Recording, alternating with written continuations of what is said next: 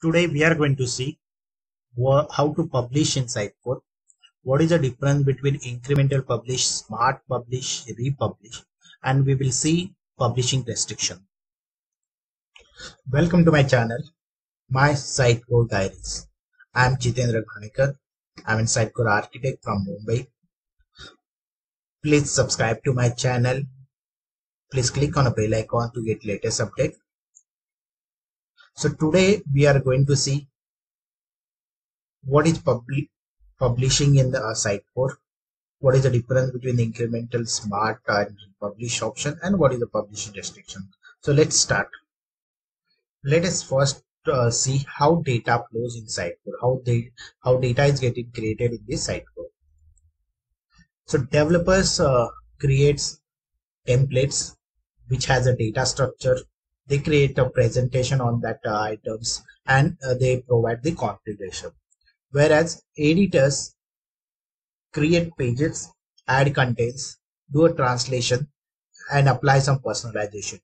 And all these activities they are doing on the content management website. Okay, so content management website stores data into the master database. So whatever content which is getting created from the developers and editors, which is getting stored in master database, that's the reason why master database we called it as a in progress database. So all the unpublished data is stored in the master database. Then there is a web database. Okay, so when you publish the uh, uh, data from the master, then that data get uh, stored into the web database. And web database is connected to the content delivery website. So that is your live website. So that is the reason why we called as a web database uh, as a live live database and it store it contains the published data. And then this website renders the uh, uh, the content or the output on uh, the depending on their layout uh, devices uh, other different devices okay? And that is outputted to the users. So that is how the uh, simple data flow so developers and uh, editors works on a content management website. They whatever in the whatever they work that store gets stored into the master database. Once they confirm then they publish it. And once they publish the data that master data will get uh, uh, into the web uh, web database. So that process where we move the data from master to web is called as a publishing in Sitecore let's see how publishing wizard looks in the Sitecore so in Sitecore we have a two interface where uh, user can publish content editors can publish or authors can publish the data. First is a content editor. In the content editor on the menu you have a two option in the publish publish site which is publish the entire website and another option is a publish item which which publish uh, the selected item. Whatever item you have selected that get published. So the the how does the wizard looks like? So for the uh, publish entire website you will have this kind of a wizard. And for the item you have a this kind of a wizard. Whereas in the experience editor this is the experience editor. Here you can publish only the selected item i think experience editor whatever you are showing you having the item that can be published. So it will have only the publish item option. So when you click on publish it will open the publish item.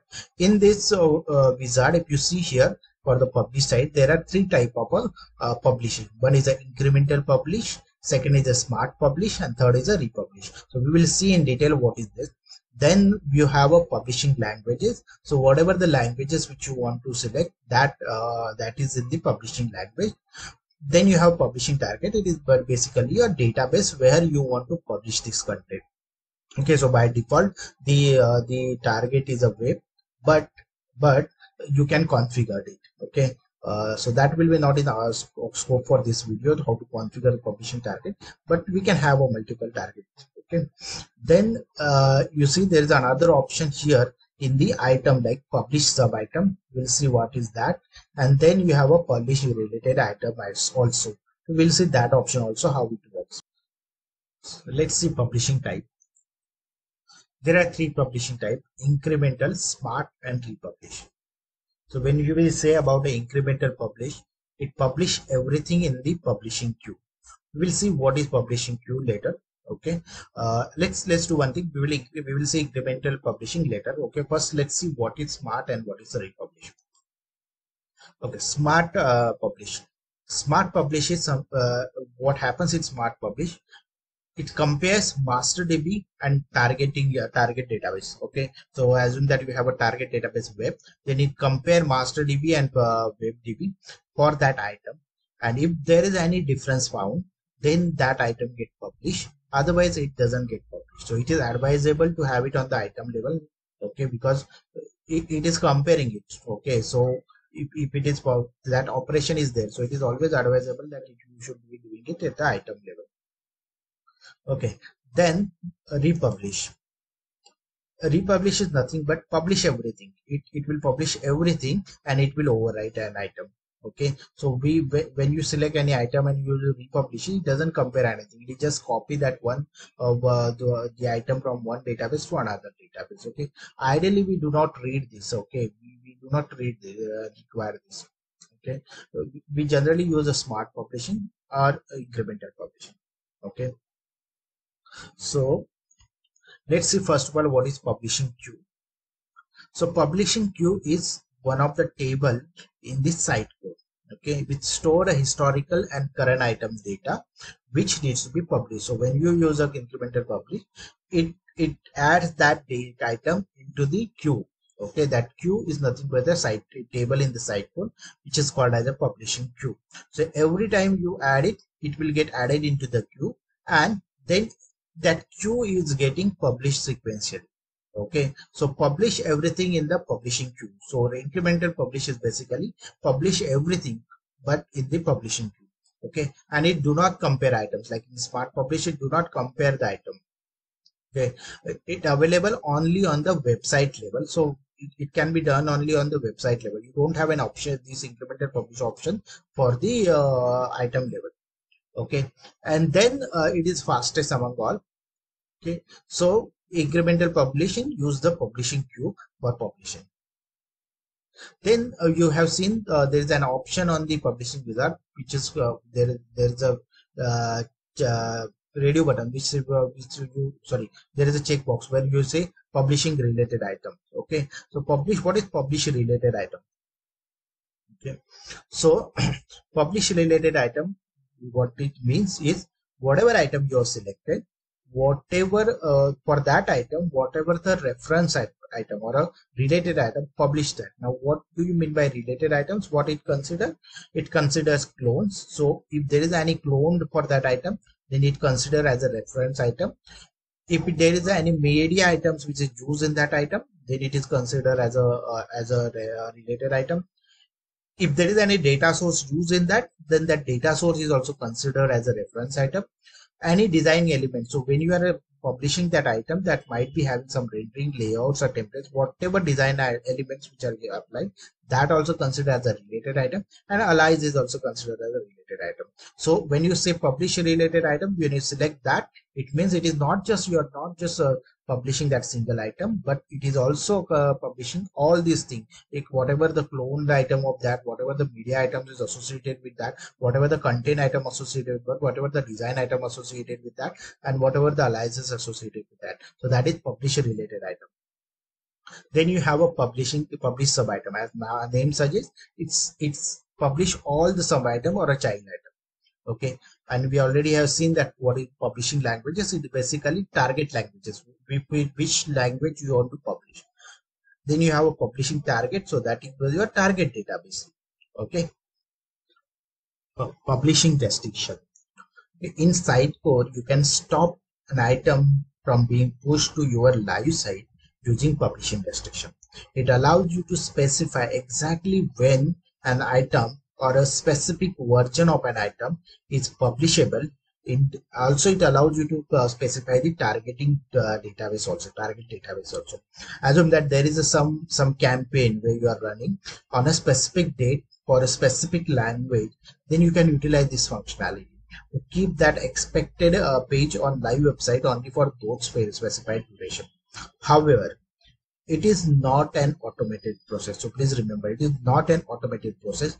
You have to manually publish uh, publish the item okay? So in the publishing wizard you have an option where it will restrict those items to get published during the provided uh, dates okay? So let's see. So in Sitecore uh, you content editor you will have the publishing section. In that there is a change okay change button okay where you see here a restriction. So that is where you can set up the restriction. Once you click on that it will open this uh, this wizard okay? So you have a three option version item and targets. In the version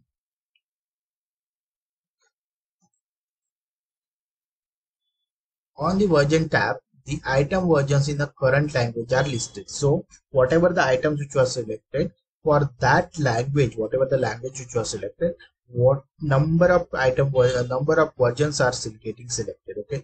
By default each version is publishable. If you see here a publishable checkbox so it means that i'm publishing the one i can publish the one uh, item version okay? If it is not if you uh, remove this uh, checkbox then it will not get published. So you can specify which I which version you want to publish. So there might be 10 versions here. So which version you want to publish from which date to from when to where. So from publisher publishable from date and publishable to date. Okay, so that to that specified time duration here sorry date the you can provide. Okay, that is the version. And when you say uh, next one is the item in item you will have a publishable checkbox. So it is for all the version okay? All item versions are publishable okay? If you specify the date during that time only it will specify uh, it will publish it. If there is a no date specified then it will always get published okay? So you can specify that uh, that duration when you can publish it.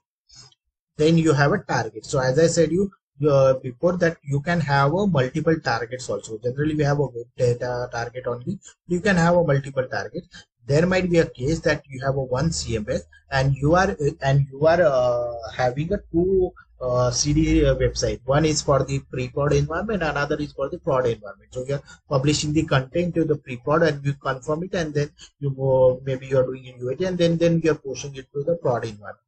In such in such scenario, you can select which which target you need to publish it okay. So that is the uh, target one. So to restrict all the item version to publish only to a certain publish target on the target tab select the relevant publishing target. This apply to all the version of the item in the law language. And please note this is not an automated process. You need to manually publish an item. So whatever time date you are selected if you didn't publish it manually it is not going to be published the item automatically or it is even not going to unpublish the item automatically if you have any question, you can email me on my email address. This is my email address. Uh, you can connect me on LinkedIn also. This is my LinkedIn ID. If you like my video, please like, uh, share and comment on the video. Please subscribe to my channel. Uh, this will motivate me to give uh, bring you new uh, videos. Please click on a bell icon to get the latest update. Thank you. Thanks for watching my video. Thank you.